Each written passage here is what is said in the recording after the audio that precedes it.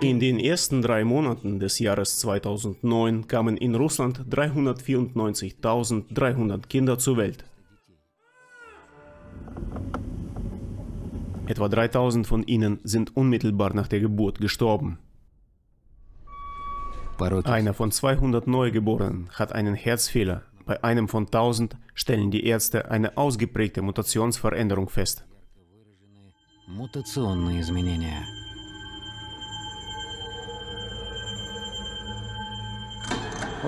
Schauen Sie, in den 1980er Jahren hatten etwa 20 Prozent der neugeborenen Kinder die einen oder anderen gesundheitlichen Probleme.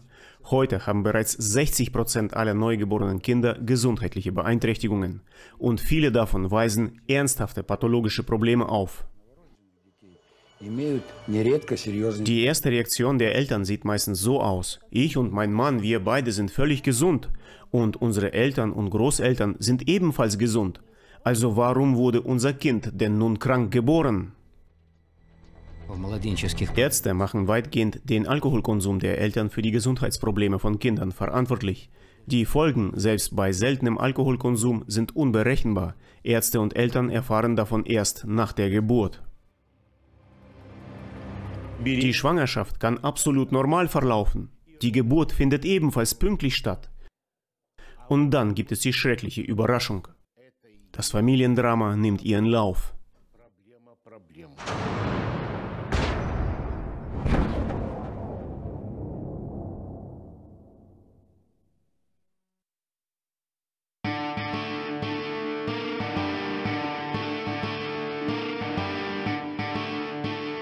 Ende des 19. Jahrhunderts hat der deutsche Arzt Johannes Block Volksfeste mit Alkoholkonsum als eine der Hauptursachen für die Geburt kranker Kinder identifiziert.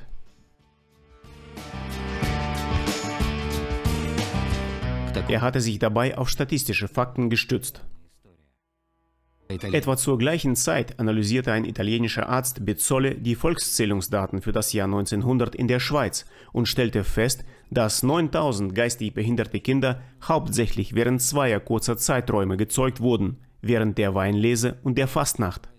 Bei Volksfesten werden die meisten Kinder unter Einfluss von Alkohol gezeugt. Es spielt keine Rolle, ob die Eltern viel oder nur wenig Alkohol konsumiert haben. Sowohl der Mann als auch die Frau müssen wissen, dass besonders in so einem Fall ein krankes oder lebensunfähiges Kind zur Welt kommen kann. Es kann eine Fehlbildung des Gehirns oder des Rückenmarks haben. Das Kind kann blind, taub oder mit einem Herzfehler zur Welt kommen. Es kann alles Mögliche haben. Es kann sogar eine extrem starke Mutation aufweisen, so dass es überhaupt nicht wie ein Mensch aussehen wird.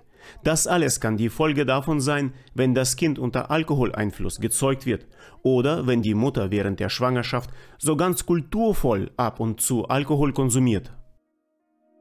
Die Befruchtung ist ein komplexer und sensibler Prozess, der sich auf zellulärer Ebene abspielt, wo zwei Zellen aufeinandertreffen, eine männliche und eine weibliche.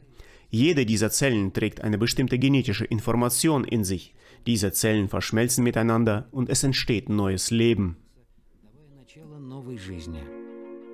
Wenn die Geschlechtszellen im entscheidenden Moment, dem Moment der Empfängnis, durch Alkohol beeinflusst werden, dann werden sich die Auswirkungen dieser genetischen Schädigung auf alle nachfolgenden Zellteilungen auswirken.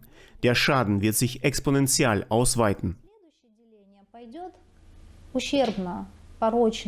In einfacher Sprache ausgedrückt ist Alkohol ein Zellgift, und zwar ein sehr gefährliches Zellgift, welches dem Einfluss einer radioaktiven Bestrahlung gleichkommt. Alkohol ruft in den Körperzellen alle möglichen Mutationen hervor. Es dringt in alle Organe ein.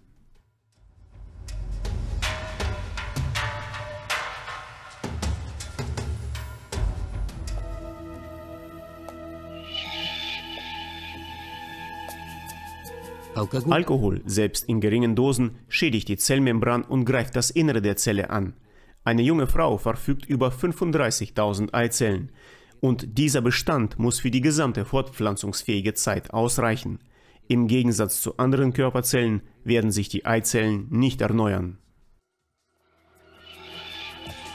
Es ist tatsächlich so, ein Mädchen wird bereits mit einer bestimmten Anzahl an Eizellen geboren. Diese können sich nicht erneuern. Ein kleines Mädchen kommt mit einer bestimmten Anzahl an Eizellen auf die Welt, von denen jeweils eine Zelle einmal im Monat zur Empfängnis genutzt werden kann. Und man kann im Voraus nicht wissen, welche Zelle befruchtet wird, eine gesunde oder eine geschädigte.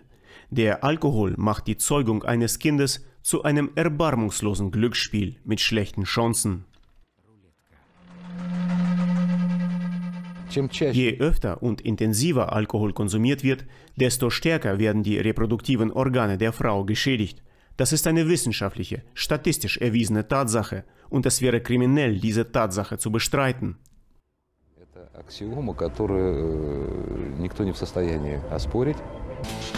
Alkoholkonsum in den jungen Jahren führt zu einem Mangel an Hormonen, die eine junge Frau wiederum für eine Empfängnis und für eine gut verlaufende Schwangerschaft benötigt. Ich wollte so gerne Kinder haben, aber meine Fortpflanzungsorgane haben im entscheidenden Moment gestreikt. Ich habe bei vielen Ärzten vorgesprochen, aber sie wussten nicht, woran es liegen könnte, denn ich sah ja nicht wie eine Alkoholikerin aus, habe nur wenig Alkohol getrunken. Im alten Indien war es zu jeder Zeit allen Frauen strengstens untersagt, Alkohol zu trinken. Diejenigen, die es wagten, dieses Tabu zu brechen, wurden auf der Stirn gebrandmarkt mit einem glühenden Eisen in Form einer Flasche. Das war ein besonderes Warnsignal für die Männer. Achtung, wer diese Frau heiratet, gefährdet seine Nachkommen. Für die männlichen Fortpflanzungsorgane ist der Alkohol sogar noch schädlicher als für die weiblichen. Alkohol zerstört die Spermatogenese bei Männern. Er tötet einfach das Fortpflanzungssystem ab. Das ist das Heimtückische bei dieser Droge.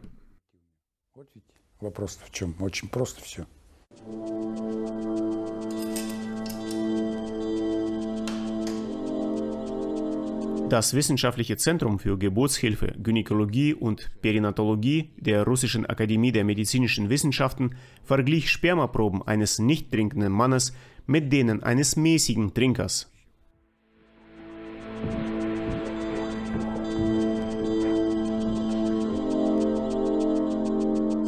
So sieht das Sperma von jemandem aus, der überhaupt kein Alkohol trinkt. Man sieht viele aktive und gesunde Zellen. Und so sieht der Samen eines wenig Alkohol trinkenden Mannes. Die Spermien sind unregelmäßig geformt, bewegen sich langsam, ein Teil der Spermien hat sich zu Klumpen zusammengehortet und es gibt sehr viele tote Spermien. Der Prozess der Spermienbildung wird verändert. Solche Männer leiden sehr oft unter Unfruchtbarkeit alle Versuche, gemeinsam mit der Partnerin ein Kind zu zeugen, sind vergeblich. Das Gleiche kann man auch in Bezug auf den weiblichen Körper sagen. Dort wirkt der Alkohol ähnlich.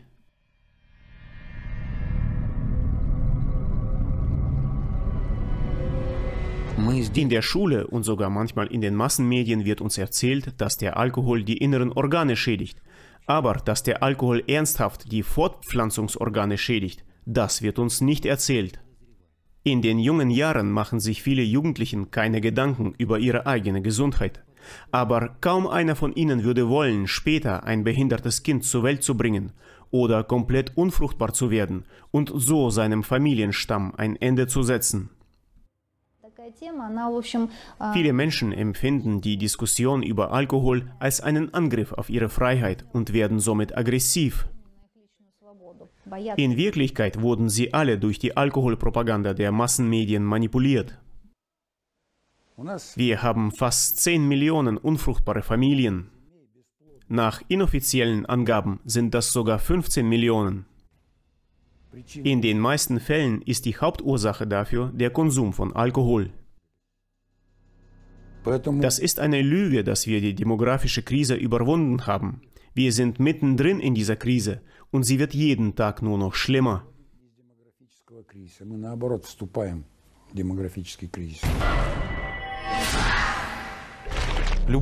Der Konsum von Alkohol, auch in kleinen Dosen, hinterlässt im Körper schlimme Folgen. Der menschliche Körper ist ein sehr empfindliches und fein abgestimmtes System, welches nicht dazu bestimmt ist, gefährliche Zellgifte wie Alkohol zu verarbeiten. Ich möchte insbesondere an junge Frauen appellieren, die sich im gebärfähigen Alter befinden und die unbedingt noch Kinder haben wollen.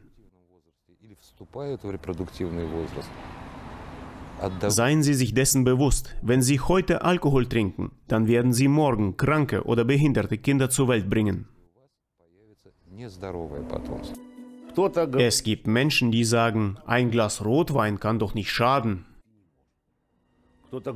Andere wiederum sagen, nein, nein, Rotwein ist während der Schwangerschaft schlecht, weil es Weinsalze enthält. Aber Cognac, das kann man ruhig trinken. Wenn man solche naiven Binsenweisheiten hört, die entweder auf Hörensagen beruhen oder auf Alkoholpropaganda aus den Massenmedien, dann wird man regelrecht traurig. Einer schwangeren Frau sind bereits einige Schluck Alkohol ausreichend, damit ein krankes Kind zur Welt kommen kann. Was es sein wird? Fehlerhafte Schädelknochen, Lippen, Kiefer, Gaumenspalte, Rückenmarkschaden, eine fehlende Niere, Schwachsinnigkeit oder das Kind kann komplett blind zur Welt kommen. Praktisch alle Organe im Körper können betroffen sein. Wie stark und wie offensichtlich die Schäden sein werden, das hängt davon ab, in welchem Entwicklungsstadium der Fötus durch Alkohol vergiftet wurde. Je früher, desto größer werden die Schäden sein. Denn besonders die ersten Tage der Schwangerschaft sind sehr kritisch und entscheidend für die weitere Entwicklung des Kindes im Mutterleib. In den ersten drei Schwangerschaftswochen werden die Grundlagen für das Gehirn und das Rückenmark gelegt. Es bedarf einer bestimmten Anzahl an gesunden Zellen, um die Grundlage für das Gehirn zu legen. Der Alkohol zerstört diese Grundlage und das Gehirn wird geschädigt. Die möglichen Folgen sind Mikrozephalie. Das Gehirn eines Neugeborenen mit dieser Diagnose ist um ein Vielfaches kleiner als das eines gesunden Kindes. Es kann sogar sein, dass das Gehirn eines solchen Fötus nicht einmal die Größe des Gehirns einer Schildkröte hat. Das sind alles lebensunfähige Föten. In der Medizin ist es allgemein bekannt, dass alle toxischen Einwirkungen in der Schwangerschaft besonders das Gehirn des Kindes schädigen. Und Alkohol ist ein sehr starkes Zellgift. Kinder, die im Mutterleib regelmäßig durch Alkohol vergiftet werden, werden in der Regel mit den unterschiedlichsten Krankheitssyndromen geboren. Das häufigste Syndrom ist geistige Zurückgebliebenheit. Es sind klinische Idioten. Wenn wir das alles berücksichtigen, dann werden wir sofort verstehen, dass alle Überlegungen darüber, ob eine schwangere Frau Alkohol trinken darf oder nicht, überhaupt keine Diskussion bedürfen. Der Konsum von Alkohol für eine schwangere Frau ist ein absolutes Tabu, wenn sie ein gesundes Kind gebären möchte. Alkoholkonsum verursacht eine sogenannte universelle Angiopathie, das heißt einen Gefäßkrampf. Dieser Gefäßkrampf führt schließlich zu einer Beeinträchtigung der Blutzufuhr zur Plazenta selbst. Diese Unterbrechung der Blutzufuhr ist für das Kind im Mutterleib vergleichbar mit einem Herzinfarkt. Das führt zu Nekrosen in der Plazenta. In der Gesellschaft gibt es zwar wesentlich mehr Menschen, die so gelegentlich Alkohol konsumieren als Alkoholiker, aber das Resultat ist das gleiche, ein behindertes Kind. Wenn dann ein behindertes oder krankes Kind da ist, dann fangen die Eltern an, sich zu rechtfertigen, so nach dem Motto, ich habe doch nur selten Alkohol getrunken und wenn, dann nur leichte Getränke. Ja, diejenigen, die wenig Alkohol konsumieren, haben ein geringeres Risiko als Alkoholiker, aber das Risiko ist immer noch da. In der zwölften Woche ist auf dem Ultraschallbild bereits ein kleiner Mensch zu sehen. Ab dem zweiten Trimester beginnen die Organe zu wachsen und sich zu entwickeln. Gleichzeitig bilden sich die lebenserhaltenden Systeme des Körpers. In den späteren Stadien der Schwangerschaft beginnt das Kind, sich auf ein eigenständiges Leben vorzubereiten wobei die Immun- und Stoffwechselprozesse im Vordergrund stehen. Der Hypothalamus, der Teil des Gehirns, der für die Interaktion zwischen dem Nerven- und dem Hormonsystem verantwortlich ist, reift heran. Wenn zu diesem Zeitpunkt der Körper des Kindes mit Alkohol geschädigt wird, dann hört der Fötus einfach auf zu wachsen. Er bleibt also klein und entwickelt sich unzureichend für eine normale Geburt. Bereits im Mutterleib wird bei so einem Kind der Stoffwechselprozess gestört solche Kinder bleiben oft ein Leben lang kleinwüchsig. Darüber hinaus kann ein Glas Wein oder Bier im späten Schwangerschaftszeitraum eine vorzeitliche Geburt provozieren. Das sind dann die sogenannten frühgeborenen Kinder. Sie kommen oft zwei Wochen vor ihrem Termin zur Welt und wiegen oft unter 2,5 Kilogramm. Leider ist das bei Alkoholkindern so, dass sie komplett unausgereift geboren werden.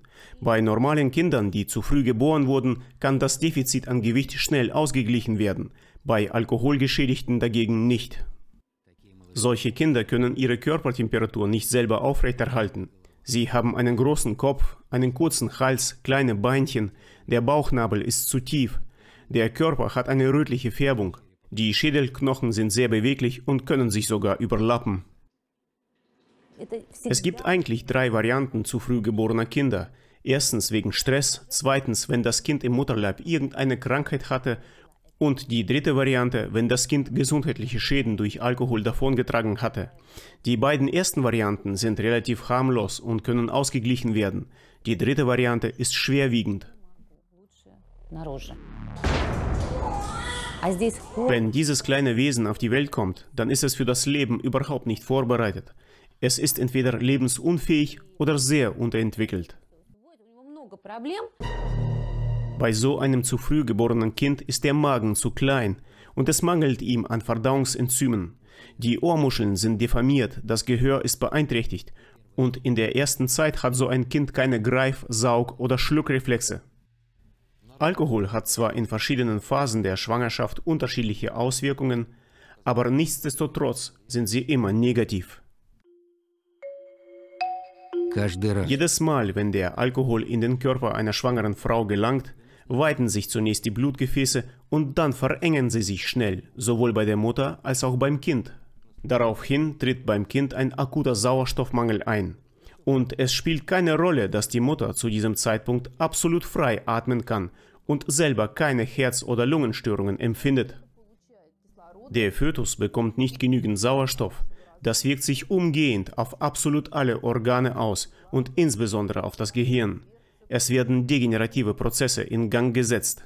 Auch wenn Alkohol in geringen Mengen eingenommen wird, dafür aber regelmäßig, dann sammelt er sich im Fruchtwasser an, von wo er nur sehr langsam ausgeleitet wird. Das Fruchtwasser fängt buchstäblich an zu vergammeln. Wenn eine Frau im finalen Schwangerschaftsstadium Alkohol konsumiert, dann ist es für das Kind, welches sich bereits fast vollständig ausgeformt hat, ebenfalls ein Besäufnis, wie für einen erwachsenen Menschen. Jedoch ist für ihn dieselbe Alkoholdosis wesentlich gefährlicher. Es gibt mittlerweile eine medizinische Bezeichnung für Kinder, die während der Schwangerschaft durch Alkohol vergiftet und geschädigt wurden. Die Bezeichnung für diese unheilbaren Schäden lautet Fötales Alkoholsyndrom, abgekürzt FAS. Wodurch zeichnet sich dieses schreckliche Syndrom aus? Die Kinder haben einen kleinen Schädelumfang. Die Hirnmasse ist wesentlich geringer als bei gesunden Kindern. Sie haben eine angeborene Mikrophthalmie. Das heißt, die Augenschlitze sind kleiner als 13 mm, auch wenn das Kind pünktlich geboren wurde. Darüber hinaus kann so ein Kind spezifische Veränderungen seines Äußeren haben, eine unansehnliche Nasenform, Fehlstellung des Oberkiefers und so weiter. Die Bandbreite der körperlichen Entstellungen ist sehr groß. Es können Anomalien am Skelett auftreten, das Hüftgelenk kann eine gefährliche Fehlstellung haben oder ausgerenkt sein, der Brustkorb kann extrem verkleinert sein und eine trichterförmige Vertiefung aufweisen. Kinder mit fötalem Alkoholsyndrom haben nicht nur körperliche und gesichtliche Missbildungen, sondern auch kardiovaskuläre und intellektuelle Beeinträchtigungen. Beides zeigt sich möglicherweise nicht sofort, sondern erst, wenn das Kind schulpflichtig wird und keine normale Schule besuchen kann. Die Eltern stellen Verhaltensauffälligkeiten fest und gehen zum Arzt. Es werden alle möglichen Untersuchungen gemacht und dann gibt es die Diagnose. Das Kind wurde mit einem fötalen Alkoholsyndrom geboren.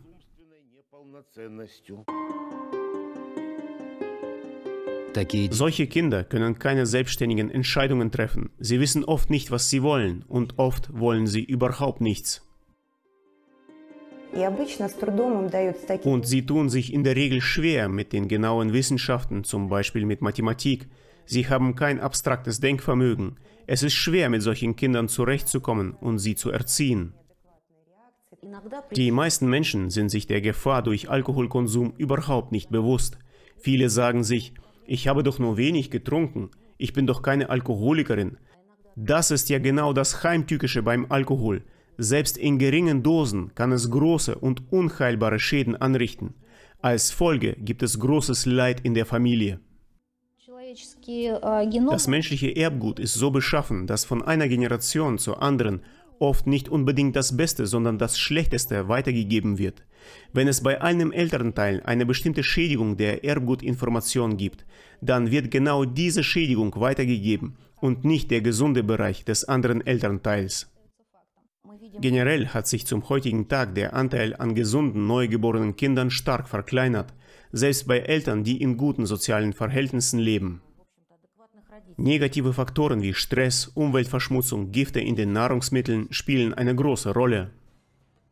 Wenn zur verschmutzten Luft, schlechter Wasserqualität, Abgasen aus Industrie und Autoverkehr auch noch zusätzlich die toxische Wirkung des Alkohols dazukommt, dann ist die Geburt eines kranken, behinderten oder lebensunfähigen Kindes garantiert.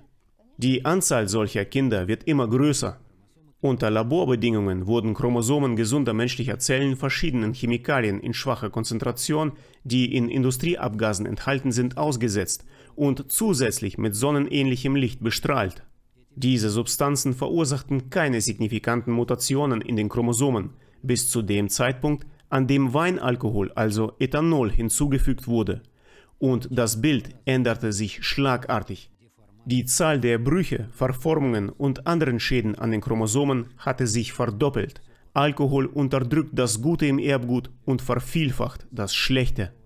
Letztlich kommt es zu einer lawinenartigen Zunahme von Erbkrankheiten, die an die nächste Generation weitergegeben werden.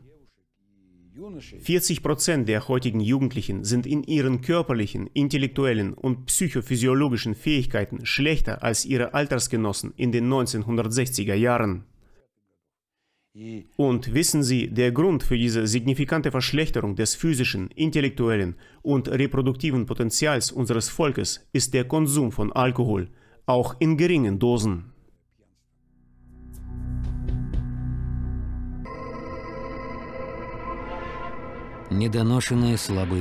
Frühgeborene, schwache, behinderte Kinder sind eine Tragödie für eine junge Familie. Der Alkohol ist eine gnadenlose, heimtückische Zeitbombe mit verheerender Wirkung. Wenn wir es nicht schaffen, bei der Bevölkerung und insbesondere bei den jungen Menschen ein Verständnis darüber zu entwickeln, dass Alkohol eine gefährliche Droge und Massenvernichtungswaffe ist, dann werden wir als Volk einfach untergehen. Ich habe regelrecht Angst vor der Zukunft, vor dem, was unserem Land bevorsteht. Wir werden nicht in der Lage sein, unser riesiges Land zu halten. Wenn wir so weitermachen, dann werden wir von der Erdoberfläche verschwinden. Und jemand anderer wird sich die Ressourcen und das Territorium unseres Landes aneignen. Der Körper einer jungen Frau ist ein wertvolles Gefäß, in dem neues Leben entsteht. Und wenn ich auf der Straße eine Gruppe Jugendlicher sehe, die so ganz unbedacht Alkohol konsumieren, dann gerinnt mir das Blut in den Adern. Ich habe Angst vor dem, was unser Land in 10, 20 oder 30 Jahren erwartet. All diese Gespräche in den Masseninformationsmedien über das Bruttosozialprodukt, über unsere Errungenschaften in der Wissenschaft, über unsere Weltraumprogramme, das alles ist absolut sinnlos, wenn wir als Volk einfach aussterben. Нас просто, нас просто не будет, у нас не будет будущего.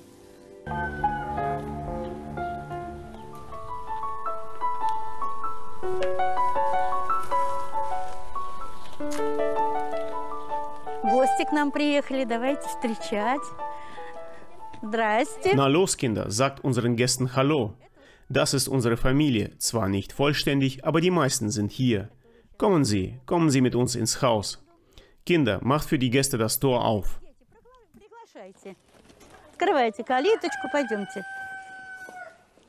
In einem großen Haus in dem Dorf Alchawatka in der Nähe von Voronezh lebt die Familie von Jelena Jarova. Sie und ihr Ehemann haben zehn Kinder alkoholtrinkender Eltern adoptiert. Кто от раза к разу? Wir haben ein Mädchen, sie ist viereinhalb Jahre alt. Als wir sie im Kinderheim gesehen haben, sie hat mir so leid getan. Mein Ehemann sagte, wir werden sie adoptieren. Wir sind ja nicht umsonst hergekommen.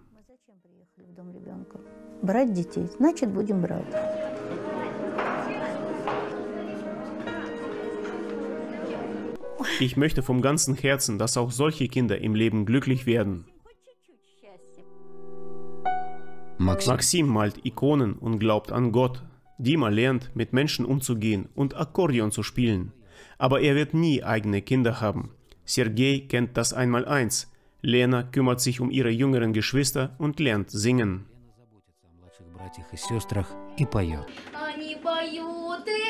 Es gibt immer einen Kampf zwischen Gut und Böse. Und wissen Sie, das Gute siegt immer. Aber die ruinierte Gesundheit bleibt.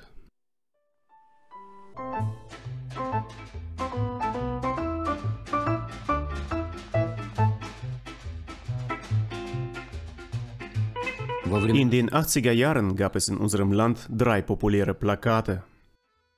Eines zeigte eine Frau, welche die Gesundheit ihres Kindes gegen Alkohol eingetauscht hat. Das zweite zeigte einen jungen Mann, der Nein zum Alkohol sagt und das dritte zeigte ein fröhliches, gesundes Kind mit einer Hebamme und der Aufschrift Werde groß und stark.